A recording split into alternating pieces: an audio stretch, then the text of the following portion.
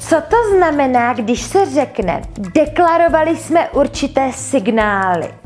tak normálně by se řeklo, pověděli jsme si, že to uděláme takhle, nebo dohodli jsme se, že to provedeme jinak. Jako představte si, že přijde kámoška a řekne, ten sexy týpek ze včera mi deklaroval určité signály, že mě nechce, No tak se mu zpětně deklarovala, ať Co to znamená, když se řekne, nemám křišťálovou kouli?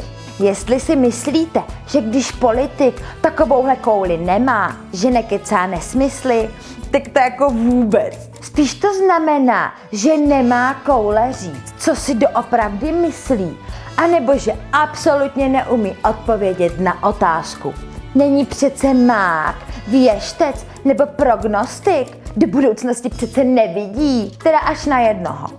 Co to znamená, když se řekne, to tvrzení je předčasné? Ajajaj, tady se něco propálilo dřív, než pan politik plánoval. To je jako když děcko jakoby najde vánoční dárky dva dny před Ježíškem.